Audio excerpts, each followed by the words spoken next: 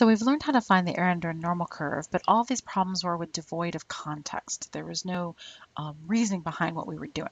So our next problem is going to be having some context and some reasoning.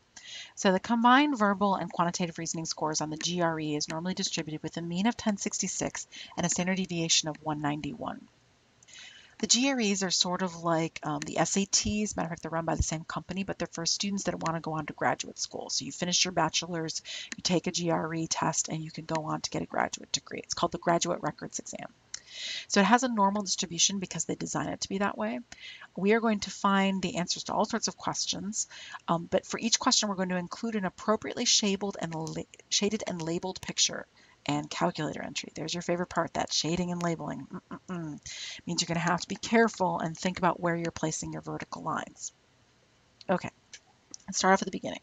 What proportion of the scores uh, are between 800 and 1200? Well, in order to appropriately shade and label our graph, we're going to have to realize that we have a mean of 1066 right there and a standard deviation of 191. Oh, and of course there's the magical, it's normally distributed, which of course we couldn't do this problem if it wasn't, so that would be a problem.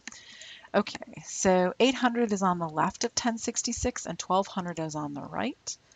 Um, 800 is eh, a little bit more than one standard deviation away. Uh, 1200 is less than a full standard deviation away. So you're going to have the 800 be farther over to the left than the 1200 is over to the right. So it should look like this. This is the graph. Now you can see I've already done this problem, but that's all right, we'll do it again. So let me show you why it works this way. So if I go to the decision matrix, I know the scores, the x values, right? In matter of fact, I know one x value is 800 and I know the other x value is 1200 and I'm looking for a proportion.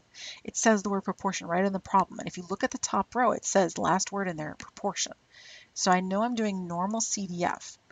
Well, normal CDF is from left to right.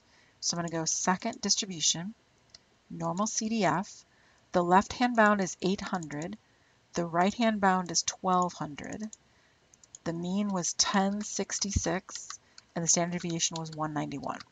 I'm going to paste that in there and press enter to get it to run it. And when you round that, that's 6767 rounded. And that's where I got 0.6767. Since they wanted a proportion that sort of implies a percentage, so I rewrote it as a percent instead of 0.67.67 or 0.6767, I wrote 67.67%.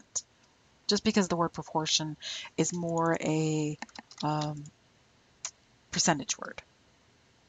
All right, now Columbia University, which is located in downtown New York City, um, only accepts the very, very best of students because it's an Ivy League school. So they will not even look at you or consider your application unless you have a 1350 or higher for their doctoral program. So what proportion of GRE test takers will score high enough to enter into Columbia? Well, obviously that's on the high side, right? So we are going to, I'm going to make that go away so you don't have to see it. So it's on the high side. They're only going to look at you if you're in the top group. And you can see that I think it's 0.06852, but I'm going to prove it to you. All right, here's how. If I grab the calculator and I go to distribution normal, right? And remember, if you look at the decision matrix, we know the score, we're looking for the proportion or probability, um, what proportion. So normal CDF left comma right, but my right bound doesn't exist. It goes forever. So remember note number three, you were going to use 1E99 to stand for infinity, essentially. So we want to say positive infinity, but we can't. So we say 1350 is my lower edge. That's my left-hand edge of what I've shaded and then one E99. That E is above your comma button. It's, a blue one, blue, and it looks like a double E. There are two E's there. That's the exponentiation button. Then you hit 99. Then 1066 and 191 are the same. You press enter and you get 0.0685. See, I would not lie to you. Which means Columbia is only interested in you if you score in the top 6.85% of G all GRE test takers which is really steep. They, like most Ivy League schools, demand a lot of uh, performance from their students. All right, so suppose you're a person that takes the GRE and you score at 1100. What's your percentile rank? Mm, all right, now what does that mean? It's It's been a while since we've seen percentile like that. Percentile, of course, is the percentage that's below you or equal to your score, sorry, percentage below you or equal to your value. We learned that in section 3.4. All right, now if you score 1100, you're higher than the mean, but not by much. You're just a tiny bit above the mean. So you should put your vertical line just a little bit to the right of the center. And you can tell that I think that this area is 0.5706, but I'm going to prove it to you. So we want the area to the left. So that's normal CDF, just like all the other ones.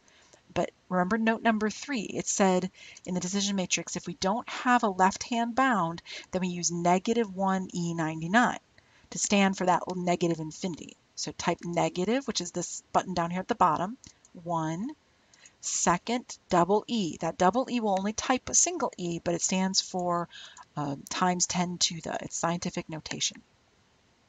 And by the way, if you're wondering why do they do double E there, it's because if you look above your sign button, there's that green letter E.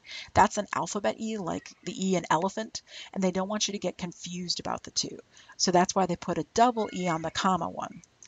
But it only types as an E, but it's a little bit lowercase. It's not, it's a capital E, but a little bit shrunken down. That's the times 10 to the one.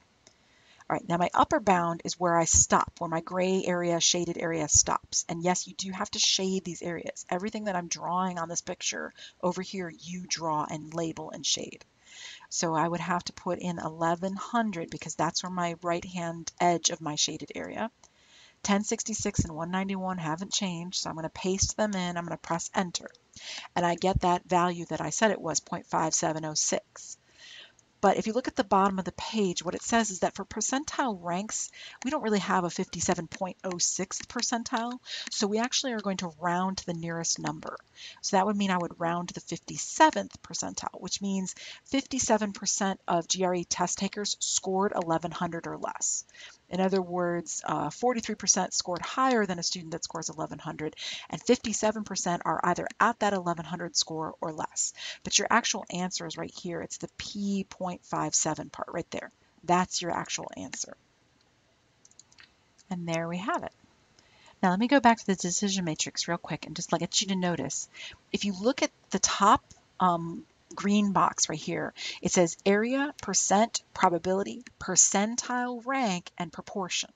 When you look back at the problem, you can see it asks, what is the percentile rank? What is the proportion? What proportion? See those words right there? Those are your question words. They're cueing into you which portion of the decision matrix you're going to use. So by saying what proportion, what proportion, and then before it had capital P parentheses, which means what probability, what probability.